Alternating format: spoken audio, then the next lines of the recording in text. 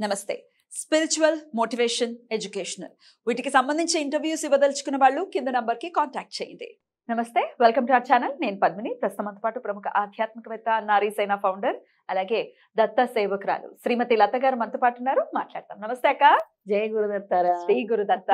అక్క ఈ ఆరో తారీఖున శుక్రవారం అష్టమి తిథి రాబోతోంది. అది కూడా ఆరుద్ర నక్షత్రంతో కూడినటువంటి అష్టమి.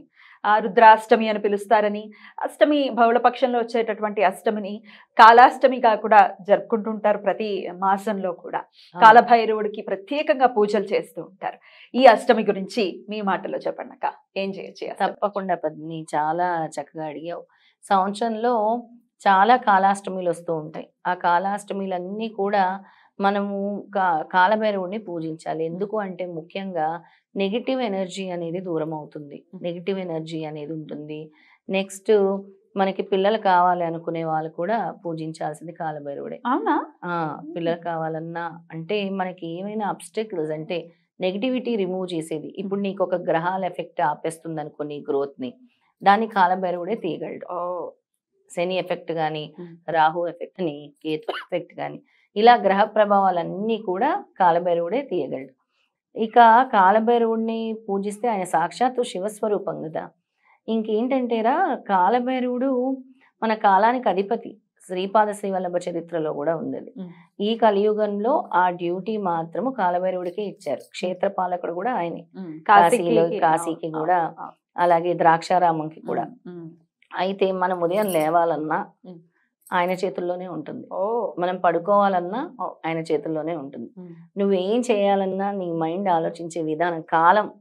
కాలం మొత్తం ఆయన చేతుల్లోనే ఉంటుంది. ఇక ఎవరైతే కాలభైరవుడిని కాలాష్టమి రోజు పూజిస్తారో ఏ విధంగా పూజించాలి అంటే ఉదయాన్నే స్నానం చేసి ఉమ్. కాలభైరవుడికి నమస్కారం చేసుకోవాలి. సాయంత్రం పూట గుడికి వెళ్ళొచ్చు. అయితే స్వామికి సమర్పించాల్సింది ఏమిటి అని అంటే పెరుగు. బెల్లం. బాగా ఇష్టం కాలభైరవుడికి ఆ రెండు సమర్పించు సపరేట్ సపరేట్గా సమర్పించాలక్క ఉమ్. సపరేట్గా సమర్పించాలి ఇక ఆ రోజు ఆరుద్రాష్టమి వచ్చింది. శుక్రవారంతో వచ్చిన అష్టమి. అష్టమి ఆరుద్ర నక్షత్రం. ఆరుద్ర నక్షత్రం సాక్షాత్తు పరమేశ్వరుడు నక్షత్రంగా కూడా నమ్ముతూ ఉంటారు? పరమేశ్వరుడే ఇక. ఆరుద్ర అంటే పరమేశ్వరుడే అని అనుకోవాలి. ఎవరికైతే బాగా అంటే దీర్ఘకాలిక ఆర్థిక సమస్యలు ఉన్నాయో. వాళ్ళందరికీ కూడా ఆ రోజు అష్టమి పూజ మహాలక్ష్మీదేవిని పూజిస్తే. చాలా చక్కగా వాళ్ళకి తెల్లటి నైవేద్యం ఏదైనా తయారు చేసి పెట్టాలి పద్మిని ఆ రోజు శుక్రవారం రోజు పరమాన్నం అనుకోవచ్చు. కొంతమంది దద్దోజనం తెల్లటిదంటే. అది కూడా అవుతుంది కదా. పరమాన్నం గాని దద్దోజనం గాని. అది పెట్టుకోవాలి అలాగే సొంతింటి కళ. మాకు ఎప్పటి నుంచో సొంతింటి కళ ఉంది. మా మేము ఇల్లు కట్టుకోవాలి అసలు కుదరట్లేదు అంటే. ఆ రోజు చాలా మంచి రోజు. వాళ్ళకు ఒక మంత్రం చెప్తాను. ఆ మంత్రం ఆ రోజు గనక వాళ్ళు చేసుకుంటే. చాలా చక్కటి రిజల్ట్ వస్తుంది అనమాట బ్యూటిఫుల్ అక్క చెప్పండి అక్క ఏంటా మంత్రం చాలా సింపుల్ అది ఐం శ్రీం హ్రీం క్లీం. నాలుగు కూడా బీజమంతాలు ఉమ్. ఐం హ్రీం శ్రీం క్లీం. అనే మంత్రాన్ని నూట ఎనిమిది సార్లు చదువుకోవాలి వాళ్ళు. ఆ రోజు ఎంత ఎక్కువ సార్లు వాళ్ళు కనుక అది నామం చేసుకోగలిగితే ఈ మంత్రాన్ని జపం చేసుకోగలిగితే అంత మంచిది వాళ్ళకి. ఉమ్. కాలభైరవుడికి సంబంధించి ఆ కొంత అంటే కాశీ అటువైపు కూడా మనం ఉత్తర ఉత్తర భారతదేశంలో మనం చూస్తే ఆయనకి ఆల్కహాల్ కూడా సమర్పిస్తూ ఉంటారు ఆ, కదా? చాలా ఆయనకి చాలా ఇష్టం. అసలు తాగేస్తాడు ఆయన. ఉజ్జయిని వెళ్ళినప్పుడు అక్కడ కాలభైరవుడు గుడి ఉంది. తీసుకెళ్ళి అక్కడ అందరూ తాగిపిస్తుంటే కాలభైరవుడు తాగేస్తున్నాడు. అవునా? అవునా ఆయన తాగేస్తూ ఉన్నారు ఆ విగ్రహం తాగుతుందా విగ్రహం తాగేస్తుంది. విగ్రహం తాగేస్తుంది మనకు క్లియర్గా కనబడుతూ ఉంటుంది అనమాట. ఇక అంటే ఆలాహలం అని అంటారు కదా. ఈశ్వరుడికి. ఈశ్వరుడు మరో రూపం కదా. ఇక. కాలభైరవుడు. ఇక ఎవరైతే ఆ రోజు కాలభైరవాష్టం చదువుకుంటారో కాలభైరవాష్టకం చదువుకుంటే కూడా చాలా మంచిది. కాలభైరవుడికి లక్ష్మీదేవికి కూడా ఆ రోజు పూజిస్తే. చాలా చాలా అత్యంత. ఫలదాయకం అని చెప్పొచ్చు. ఇక కాలభైరవుడికి సంబంధించి కూడా ఆ రోజు ఏ మంత్రము వాళ్ళందరూ కూడా చాంటింగ్ చేసుకోవాలో చెప్తాను. తప్పకుండా. అయితే కాలభైరవుడు ఈ మంత్రం చేసుకుంటే చాలా మంచిది. ఓం హ్రం హ్రీం హ్రౌం కాలభైరవాయ నమ.